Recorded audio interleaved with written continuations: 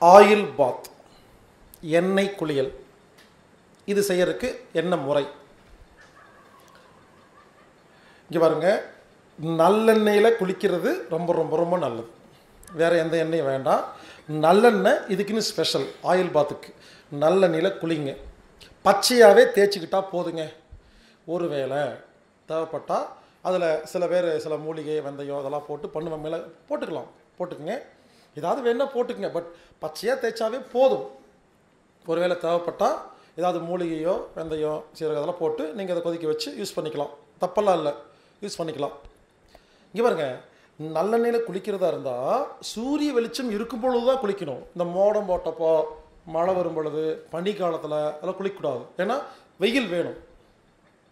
இன்னொன்று வெயில் இருக்கும்போது தான் குளிக்கணும். நீங்கள் காலை நாலு மணிக்கு குளிக்கக்கூடாது. வெயில் சூரிய வெளிச்சம் இல்லை. சூரிய வெளிச்சம் இருக்கும்போது தான் நல்லெண்ணெய் தேய்ச்சி குளிக்கணும். அன்னைக்கு சுடு தண்ணியில் தான் குளிக்கணும்.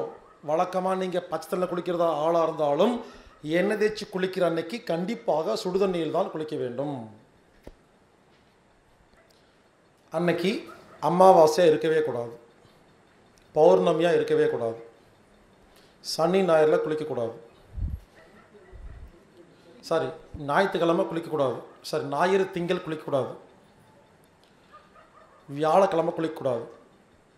பிறந்த நாள் குளிக்கவே கூடாது. சாரி எண்ணெய் தேய்ச்சி குளிக்கவே கூடாது. அந்த அந்த திதி அந்த இதில் அந்த நட்சத்திரம் அந்த பிறந்த நாள் அன்னைக்கு எண்ணெய் தேய்ச்சி குளிக்கக்கூடாது. இன்னும் ஆமாம் அது அட்வான்ஸ். அது வந்து நீங்கள் சொல்கிறது ஓகே. பிறந்த நட்சத்திரத்தில் அந்த திதியில் எப்பவுமே குளிக்கக்கூடாதுன்னு சொல்லுவாங்க. அது அட்வான்ஸ் இருந்தாலும் வருஷத்துக்கு ஒரு தடவை பர்த்டே இருக்கு இல்லையா? அன்னைக்கு குளிக்கக்கூடாதுங்க எண்ணெய் குளிக்கக்கூடாதுங்க அடுத்தது நிறையா டேட்ஸ் இருக்குது அமாவாசை பௌர்ணமி மாத பிறப்பு வருஷ பிறப்பு இந்த இது எதுக்குன்னு கேட்டிங்கன்னா இதெல்லாம் குளிர்ச்சியான நாட்கள். குளிர்ச்சியான நாட்களில் என்னதை குளிக்கக்கூடாதுங்கிறது தான் இப்படி சொல்லிட்டாங்க. ஹீட் தினங்களை குளிச்சுக்கலாம். எது ஹீட் தினம்? சனி செவ்வாய். ஸோ புரிஞ்சுக்குங்க. எண்ணெய் தேய்ச்சி குளிக்கும் பொழுது ஹீட்டாக இருந்தால் ரொம்ப ரொம்ப நல்லதுங்க. என்ன பண்ணிட்டாங்க அதுக்கு? ஒரு ரூல்ஸ் வச்சுட்டாங்க. பெண்களுக்கு வெள்ளியும் செவ்வாயும் ஆண்களுக்கு சனியும் புதனும். சனி வந்து சூடு புதன் வந்து குளிர்ச்சி. செவ்வாய் வந்து சூடு வெள்ளி வந்து குளிர்ச்சி. அப்போ ஆண்களுக்கு ஒரு குளிர்ச்சி ஒரு சூடு. பெண்களுக்கு ஒரு குளிர்ச்சி சூடு. ஏன் தெரியும்? மாற்றி மாற்றி வச்சுருக்காங்க. ரெண்டு பேர் எண்ணெய் தேய்ச்சிட்டு இருந்தால் முதுகு தேய்க்கிறதுக்கு ஆள் இருக்காது. சரி இன்னைக்கு நீ தேய்ச்சிக்கோ. நான் மாற்றி அப்படி ஒரு அட்ஜஸ்ட்மெண்ட் வச்சுருப்பாங்க போல் இருக்கு. என்னமோ யோசிச்சு ஒரு பிளான் பண்ணி வச்சுருக்குறாங்க. நாம் அந்த மாதிரி பண்ண வேண்டாம். நான் என்ன சொல்கிறேன்னா மா மாதத்துக்கு இப்போ இருக்கிற இவங்க இப்போ இருக்கிற நிலமையில மாதத்துக்கு ஒரு நாள் குளித்தா கூட போதுங்க. ட்ரை பண்ணுங்க. மாதத்துக்கு ஒரு முறை உடம்பெல்லாம் எண்ணெய் தேய்ச்சி ஒரு அரை மணி நேரம் ஒரு மணி நேரம் வெயிலில் நின்று அதுக்கப்புறம் குளிச்சுக்குங்க. இல்லைங்க. லேடிஸ் நாங்கள் என்ன பண்ணுறதுங்க ட்ரெஸ் இல்லாமல் இந்த மாதிரி எண்ணெய் தேய்ச்சிட்டு வெளியே போய் நிற்க முடியாது இல்லையா? என்ன பண்ணுறதுன்னு கேட்டால் முடிஞ்ச வரைக்கும் வெளியே போகிறதுக்கு முயற்சி பண்ணுங்கள் சூரிய வெளிச்சம் படுறதுக்கு. உங்கள் வீட்டில் ஏதாவது காம்பவுண்ட் இருந்து இருந்தால் யூஸ் பண்ணுங்கள் இல்லைங்க. வாய்ப்பே இல்லைன்னா என்ன தேய்ச்சிக்குங்க. சூரிய வெளிச்சம் நல்லா இருக்கும் பொழுது வீட்டுக்குள்ளேயே ஜன்னல் வழியாக கதை வழியாக சூரிய வெளிச்சம் வரும் இல்லையா? அந்த மாதிரி ஏதாவது பொசிஷன் பார்த்துக்குங்க. எதுவுமே இல்லையா? பரவாயில்லைங்க. புரிஞ்சுக்குங்க.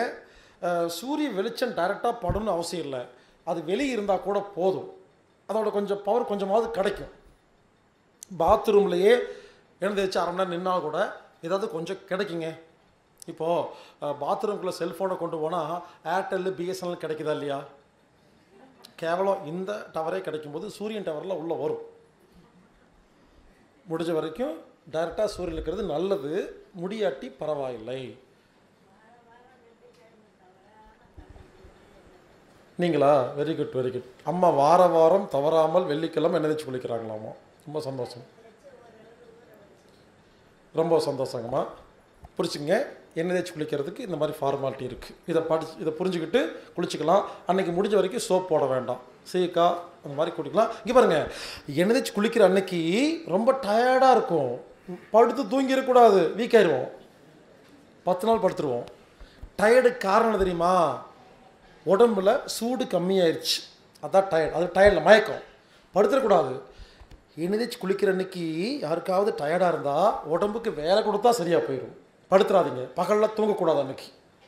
அன்னைக்கு முடி வெட்டக்கூடாது.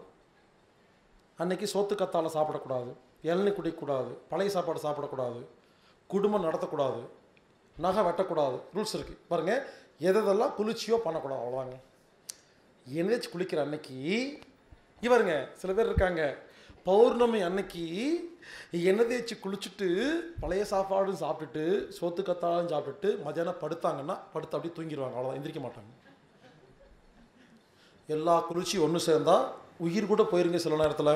அந்த மாதிரி நிறைய நான் பார்த்துருக்குறேன். புரிஞ்சுக்கோங்க? அவங்களுக்கு தெரியாமல் பண்ணிடுவாங்க சில பேர் நல்லா தான் இருப்பாங்க. திடீர்னு உயிர் போயிடும் ஏன்னா நாலு குளிர்ச்சி ஒன்று சேர்ந்தா உயிர் போயிருங்க. அஞ்சாறு சூடு ஒன்று சேர்ந்தா குளிர்ச்சி உயிர் போயிடும் அளவுக்கு மிஞ்சின குளிர்ச்சி.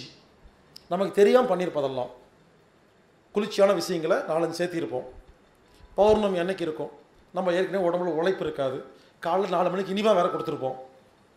அப்புறம் எந்திரிச்சு இளநீ சாப்பிட்ருப்போம் அப்புறம் எண்ணெய் குளிச்சிருப்போம். டயர்டாக இருந்திருக்கும். படுத்து தூங்குவாங்க. அவ்வளோதான் ஸோ புரிஞ்சுக்குங்க. குளிர்ச்சிகளை ஒன்று சேர்த்தாதீர்கள். சூடுகளை ஒன்று சேர்த்தாதீர்கள். பிரித்து பிரித்து பார்த்துருங்க உடம்பு சூடாச்சுன்னாவே குளிர்ச்சி பண்ணுங்க. குளிச்சாலும் சூடு பண்ணிடுங்க அவ்வளோதான் உடம்பு எப்படி தான் நார்மல் ஆகிரும் ஸோ இந்த மாதிரி எண்ணெய் தேய்ச்சி குளிக்கும் பொழுது நமக்கு தைராய்டு சிக்கல் தீரும்போது கால்சியம் நல்லா இருக்குது எலும்பு ஸ்ட்ராங்காக இருக்குது ஆரோக்கியமாக இருக்கலாம். இது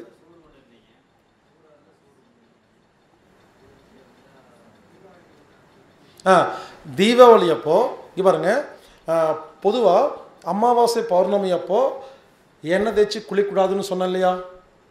வருஷத்தில் ஒரு நாள் மட்டும் குளிக்கலாம் அதுக்கு பேர் தான் தீபாவளி. நம்ம தாத்தா பாட்டி என்ன பண்ணியிருக்கிறாங்க? வருஷத்தில் ஒரு நாள் அந்த நாள் மட்டும் அமாவாசை அன்னைக்கு சூரிய உதிக்கிறதுக்கு முன்னாலேயே பிரம்ம முகூர்த்தத்தில் எண்ணெய் தேய்ச்சி குளிச்சுட்டா ஒரு வருஷத்துக்கு கால்சியம் கிடைக்கும்னு கண்டுபிடிச்சி அன்னைக்கு எண்ணெய் தேய்ச்சி குளிங்கன்னு சொல்கிறக்கு பொதுவாக நரகாசுரன் செத்து போயிட்டான் அப்படின்னு சொல்லி நம்மளையெல்லாம் குளிக்க வச்சுருக்காங்க. நம்ம என்ன பண்ணுவோம்? தீபாவளி அப்போது பட்டாசு வாங்குவோம் புது துணி போட்டுக்குவோம் சினிமாவுக்கு போவோம் நகை வாங்கிக்குவோம் பலகாரம் சாப்பிடுவோம் குளிக்க மட்டும் மாட்டோம். அன்னைக்கு ஒரு நாள் சூரிய வெளிச்சத்துக்கு முன்னாலேயே எண்ணெய் தேய்ச்சி குளிக்கணும். ரூல்ஸ் வச்சுருக்காங்க.